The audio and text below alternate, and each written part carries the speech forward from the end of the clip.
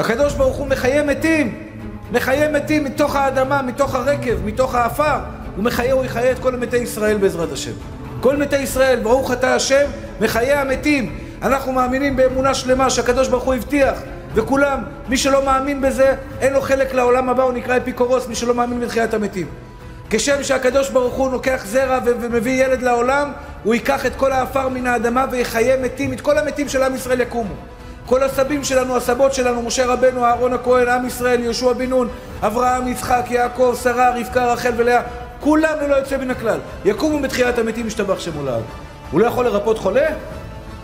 מאמין באמונה שלמה בכוח הגדול של הקדוש ברוך הוא, אני נותן לו כוח על ידי זה. אני, כי אני יודע מי זה בורא עולם. יש הבדל בין אם אתה יודע על מי אתה מדבר, אתה לא יודע על מי אתה מדבר. שמעת רב מדבר, יש בורא לעולם. זו לא ידיעה אחי. במשנה במסכת אבות כתוב, דע מה שתשיב לאפיקורוס. מה זה דע מה שתשיב לאפיקורוס? אומר לך תנא באבות, אם יבוא לך בן אדם ויגיד לך, תוכיח לי שיש בורא לעולם, אתה חייב לדעת מה להשיב לו. מי ברא אלה? אף אחד לא יכול להתמודד עם השאלה הזאת. פיצוץ, פיצוץ יוצר את המוח שלך, פיצוץ יכול ליצור, ליצור אחד ועוד אחד, זה פיצוץ. אם ככה חיזבאללה היו צריכים להיות היום מלאים באוצרות.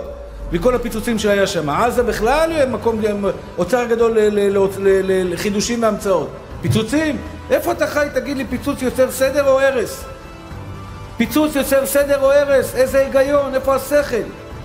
תפעיל את המוח שלך, אחי. אחד ועוד אחד שווה שתיים.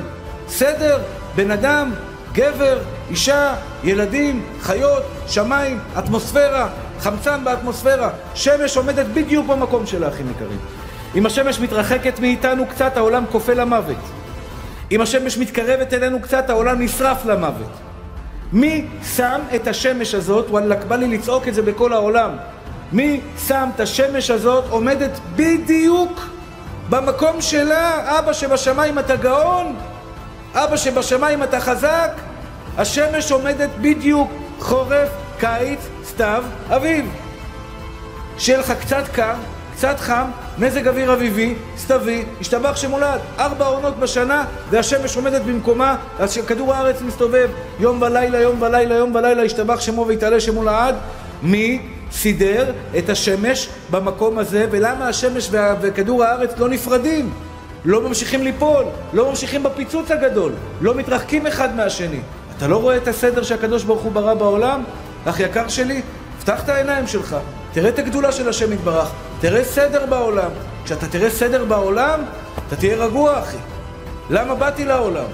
אתה שואל את עצמך שאלה למה באתי לעולם? למה הקדוש ברוך הוא הביא אותי לעולם, המכונה הזו, מה אני עושה פה, ריבונו של עולם? למה קשה לי בחיים? למה לא הולך לי בחיים? למה יש לי משברים? למה יש לי חסרונות? למה לא יש יותר כסף, לי יש פחות כסף? לא שואל שאלות הקדוש ברוך הוא ישתבח שמו לעד. אתה יודע מי זה בורא עולם? אתה יודע מה החוכמה שלו? אתה יודע מה הגדולה שלו? אתה שואל שאלות, מי אני בכלל?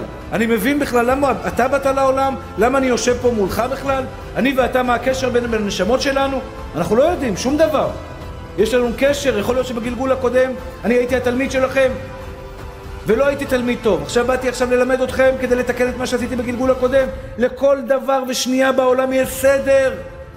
אין רגע אחד, רגע אחד שהקדוש ברוך הוא עוצם עיניים ואומר יאללה תסתדרו לבד.